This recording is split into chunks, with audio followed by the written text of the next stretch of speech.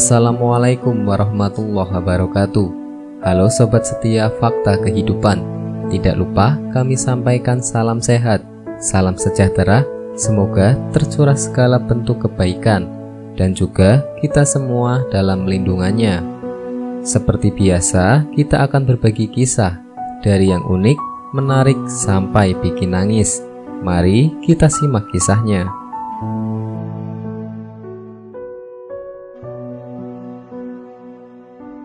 Kisah nyata. Inilah reaksi orang tua di alam kubur saat disiarahi. Siarah kubur merupakan salah satu sunnah Rasulullah Karena dengan bersiarah kubur akan mengingatkan pada kematian yang sudah pasti datang. Jika sering ingat mati Maka bisa melembutkan hati yang berdampak pada mudah menerima nasihat dan rajin beribadah Keutamaan ziarah kubur ini disebutkan dalam beberapa hadis berikut. Bersiarah kuburlah, karena ia akan mengingatmu akan akhirat. Hadis riwayat Ibnu Majah. Ziarah kubur dapat melembutkan hati, sebagaimana disebutkan dalam hadis yang lain. Dulu aku pernah melarang kalian untuk bersiarah kubur, namun sekarang ketahuilah, hendaknya kalian bersiarah kubur karena ia dapat melembutkan hati, membuat air mata berlinang, dan mengingatkan kalian pada akhirat. Namun jangan kalian mengatakan perkataan yang tidak layak ketika bersiarah. Hadis riwayat Al-Hakim. Siarah kubur dapat membuat hati tidak terpaut kepada dunia dan suhu terhadap gemerlap dunia. Dalam riwayat lain hadis ini disebutkan, Dulu aku pernah melarang kalian bersiarah kubur. Namun sekarang ketahuilah, hendaknya kalian bersiarah kubur. Karena ia dapat membuat kalian suhud terhadap dunia dan mengingatkan kalian akan akhirat.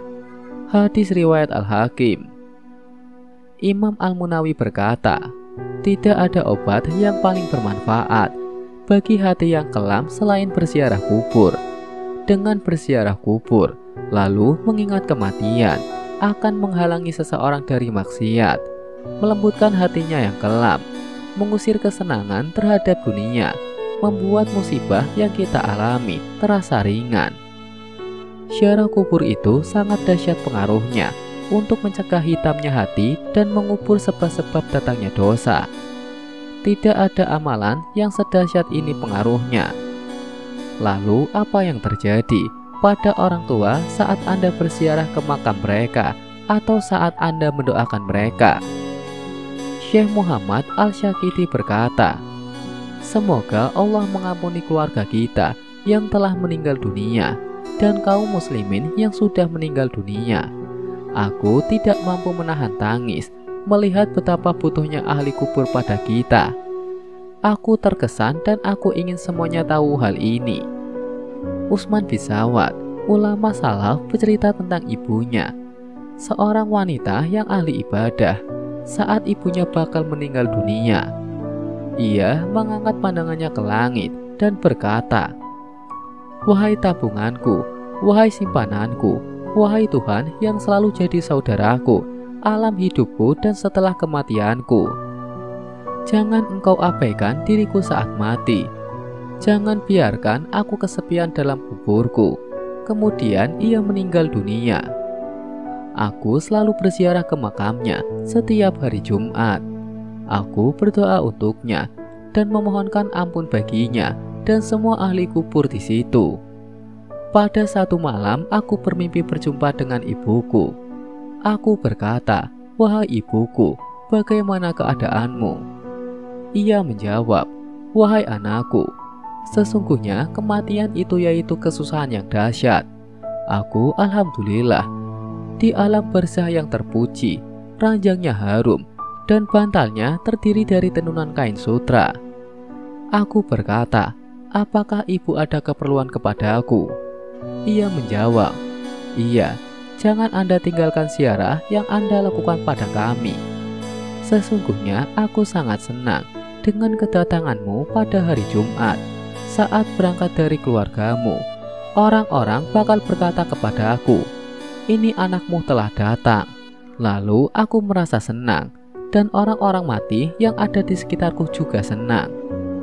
Basyah bin ulama salaf juga berkata, Aku bermimpi Robiah al-Wadiyah dalam tidurku.